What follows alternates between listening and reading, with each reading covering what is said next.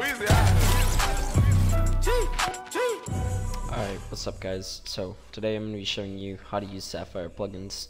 This is second video, I already made one, but now there's new things that you can do with it, there's a lot of new stuff that people have figured out, so it's going to be a video showing you how to do that. Um, I already have my clip synced up with the song and some velocity on it, so... Yeah.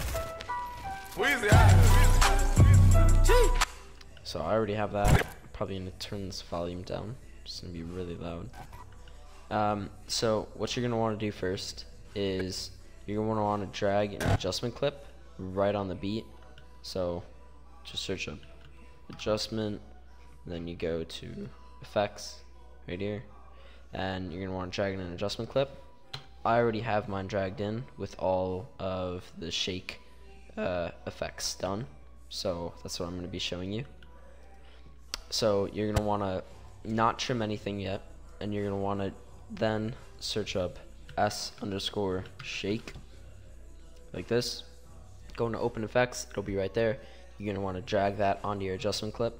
Uh, again, I've already done that, so I'm gonna click on my adjustment clip, and I'm gonna be showing you the settings for this shake slash impact.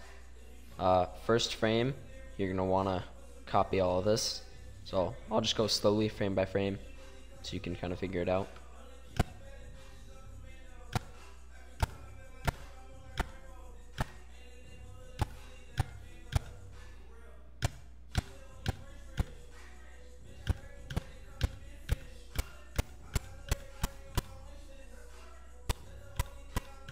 So you can pause the video in between and figure it out, but the shake would end up looking like this.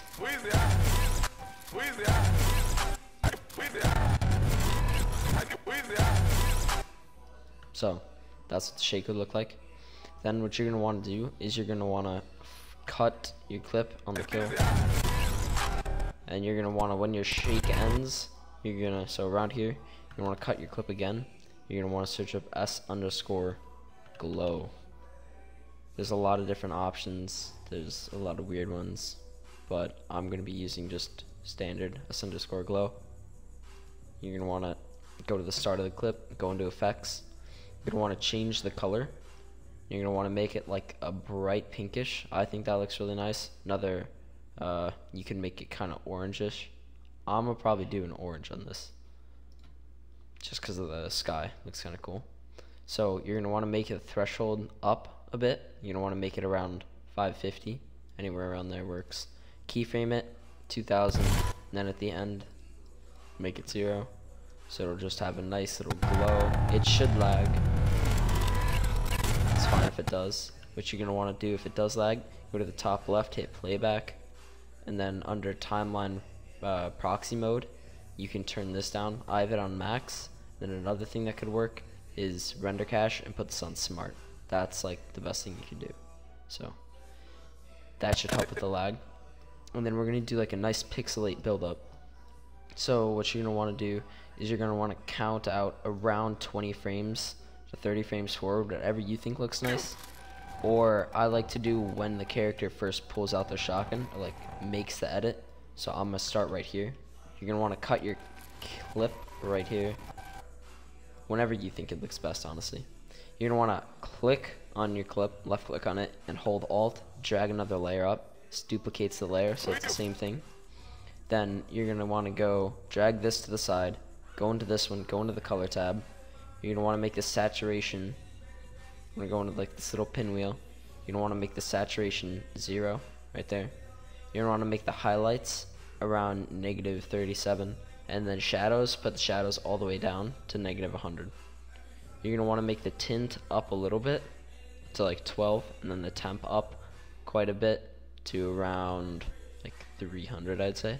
Just adds like a little bit of saturation or not saturation, brightness back to it. And so that's going to be your saturation or your your non-saturated layer. So this is the layer that you duplicated. This has all the colors in it. You're going to want to go over to the left. You're going to want to search up underscore pixel. Pixel. you can just search pixel like this or s underscore white pixelate. That's what it'll be named. But I'm gonna just search pixel. It's easier. You're gonna drag this onto your clip, and you're gonna want to make it on the right end, and you're gonna drag it all the way out to the side of your clip. And so what this is gonna do is it's gonna make like a nice little video game looking style. It's gonna bring that over. And so you can mess around with this. You can make like the edge width less. You can make it more pixely like that. You can make the angle different. And I personally like it when it goes like that. You can make the pixels smaller. I kind of like it when the pixels are a little bit bigger. You can make the resolution width different. You can make it like that. I just like standard. So I'm going to reset this. Can make them look kind of kind of different. So mess around with this whatever you want. This changes like the layout. These are random, randomized. So mess around with it.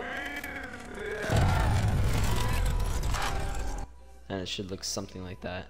Obviously it'll lag in, but as that little blue bar loads, it will keep uh, rendering. So this is what it should look like in the end. If this helped you, drop a like, subscribe, do the things, you know. I'll see you in the next video. Bye.